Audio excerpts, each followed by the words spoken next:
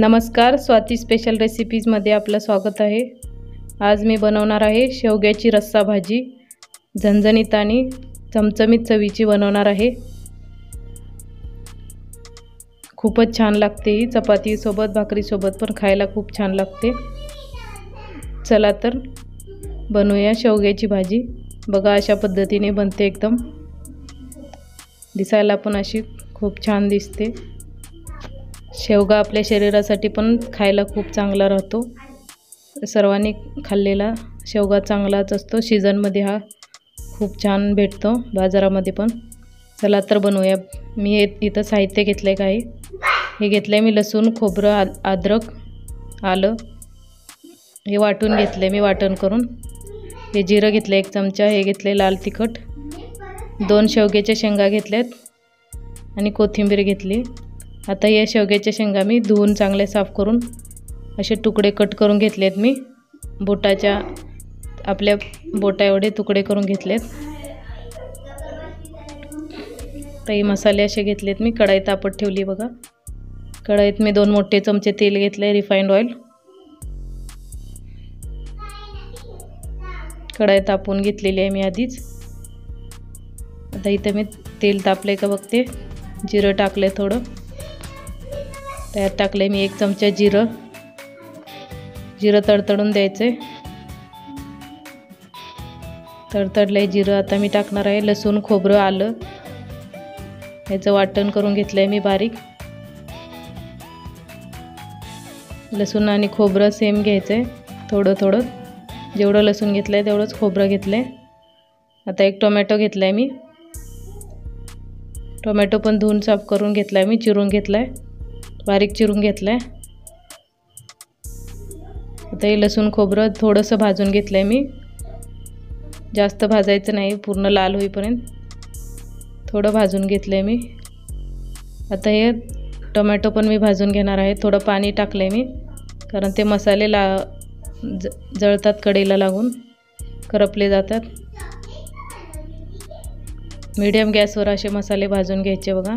म्हणजे भाजीला पण चव राहते चांगली मसाले व्यवस्थित भाजले की. आता मी एक चिमूटभर हळद टाकली. एक चमचा घरचं का काळा मसाला कांदा लसूण मसाला टाकला आहे तर इथं मी धनिया पावडर एक चमचा टाकली. गरम मसाला एक चमचा टाकला आहे आता अशा पद्धतीने मसा मसाले पण मीडियम गॅसवर भाजून घ्यायचे आहेत बघा. म्हणजे भाजी पण चांगली तर्रीदार होते आणि खायला पण चवीला चांगली लागते. या अशा थोड्या शेंगा आता मी शेवग्याच्या टाकल्यात. ह्या थोड्या हलवून घ्यायच्यात. दोन मिनटं परतून घ्यायच्या थोड्या. मिडियम गॅसवरच करायचं आहे फुल गॅस ठेवायचा नाही. आता मसाले जळून जातील सगळे क करपून जातील.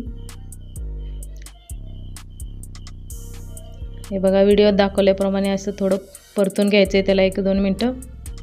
आणि आता मी पाणी टाकलेलं आहे बघा. तुम्हाला जस जसा रस्सा बनवायचा आहे त्या पद्धतीने तिखट टाकलं आहे त्याप्रमाणे तुम्ही पाणी टाकू शकता. बघा आता. बघा तर्री कशी सुटली या रश्श्याला खूपच छान लागतो हा रस्सा. हे पाणी टाकले टाकलेलं आहे मी. हे दोन मोठे डबे टाकलेले आहेत मी. हे दोन वाटे आहेत मोठ्या वाटीच्या अंदाजे. आणि कोथिंबीर टाकली चवीपुरतं मीठ टाकले.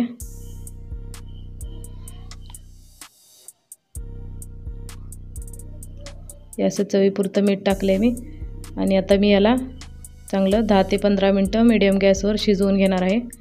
पाच मिनटं मिडियम गॅसवर ठेवलं होतं. आता पाच मिनटाने मी चेक केले. पाच मिनटानं बघितले शेंग शिजले का? आणि परत दहा ते पंधरा मिनटं मी शिजवून घेतले. आता ही शिजलेली आहे बघा. दहा ते पंधरा मिनटं झालेली आहेत माझी इथं. दहा पंधरा मिनटं मी शिजवून घेतलेली. आता ही शिजत आल्यानंतर पाच मिनटं अगोदर पाच मिनटं अगोदर कूट टाकले मी. शेंगदाण्याचं कूट टाकले दोन चमचे. याशी शिजली का बघायची बघा. शेंगदाण्याचं कूट टाकून पण मी पाच मिनटं शिजवणार आहे. पाच मिनटं बारीक गॅसवर कडवून घेतलेली आहे. आता ही शिजलेली आहे शेंग. शिजलेलीच अगोदर पाच मिनटं शिजलेलीच होती. पण मी कूट टाकून पाच मिनटं ठेवलेली आहे. आता ही तयार आहे बघा अशा पद्धतीने. असा रस्सा बनतो एकदम. झणझणीत रस्सा बनतो ह्याचा.